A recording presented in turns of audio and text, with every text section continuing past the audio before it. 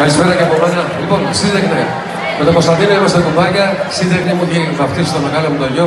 Η σχέση μας είναι πραγματικά μοναδική. Χαίρομαι πάρα πολύ που είμαι εδώ απόψε κοντά σας και την ομάδα.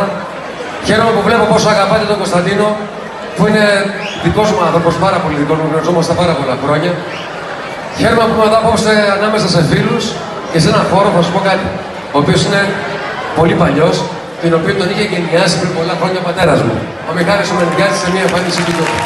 Το έμαθα αυτό σήμερα. Λοιπόν, σε τέτοιες περιπτώσεις μου αρέσει να ακούω ανθρώπους που αγαπάω, αλλά θα πω ένα τραγούδι, ένα μόνο, και θα φύγω να σας ακούσουμε την παρέα μου εκεί. Λοιπόν, ο μαέστρος καινούριος. ένα σόλ παρακαλώ.